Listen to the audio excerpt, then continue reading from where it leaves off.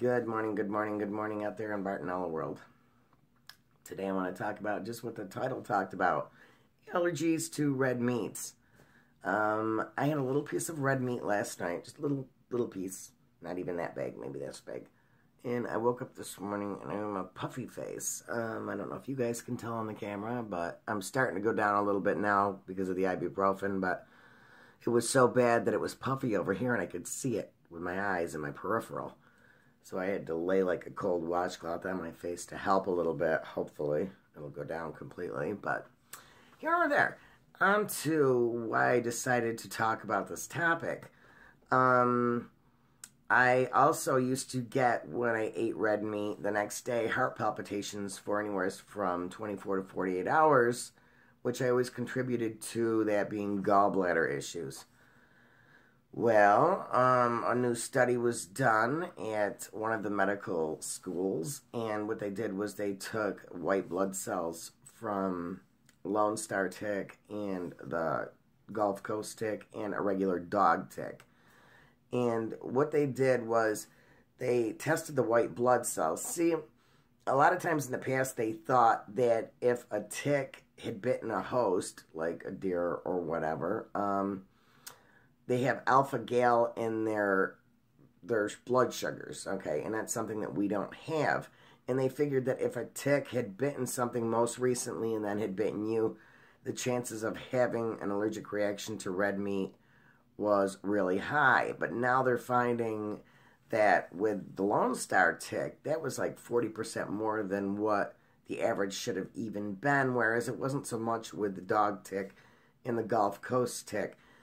But they also found recently that they don't have to bite something else, like another mammal, most recently, and then bite you, that they can actually just transmit this. Whether it be because maybe they had bitten something, you know, prior, you know, obviously. That's still to be seen, but it is very possible, people, to not only have allergies to, you know, everything else under the sun, but also to have a reaction to red meat. So that is pretty interesting.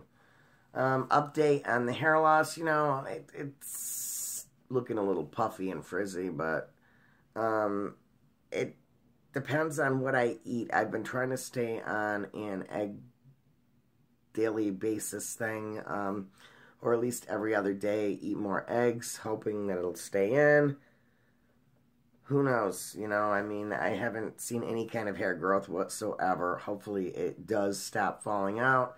I haven't noticed as much in the last shower that I took, but you know, I mean, we lose 100 hairs a day, and when you've lost at least three quarters, if not more, of your hair, any kind of hair loss is scary. So that's an update there. Um, as far as my health goes, you know, I'm doing okay. Like everybody else, you know, we learn, we are programmed or we learn to pay attention to what it is that we do, everything that we take in, everything that we eat, everything. We pay attention to everything. We're always on a constant worry basis that we might set it off. Um, I still do, you know, I mean, 33 years, 34 years now, I don't know. But, um, yeah, I'm, I'm doing. I'm still trying to get out and stay out a little bit more and things like that. Slow steps, baby steps, you know.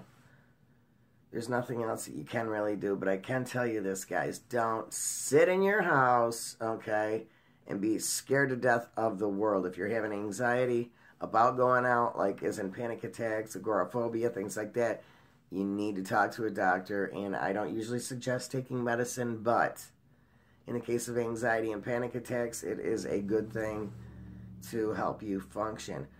Do not be one of those people that end up stuck in your house.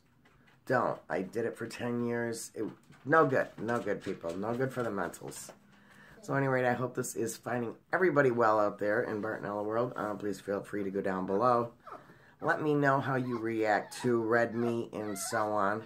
Excuse the background noise. It is my puppy dog. She's whining, telling me she wants to come over here. And anyway, I'm going to close this here. I hope everybody is doing well, and I will catch all of you soon. Bye-bye. Good morning, good morning out in Bartonella world. It is early morning for me. Good morning, good morning out there in Bartonella world. I hope that this winter has been treating you well, and hopefully it passes soon, because we've had one heck of a thing. Now, I have always mentioned that after I eat red meat, a lot of times I have heart palpitations the next day. Um, and I always contributed that to being something of um, on ticks, and they used the Lone Star tick, the go.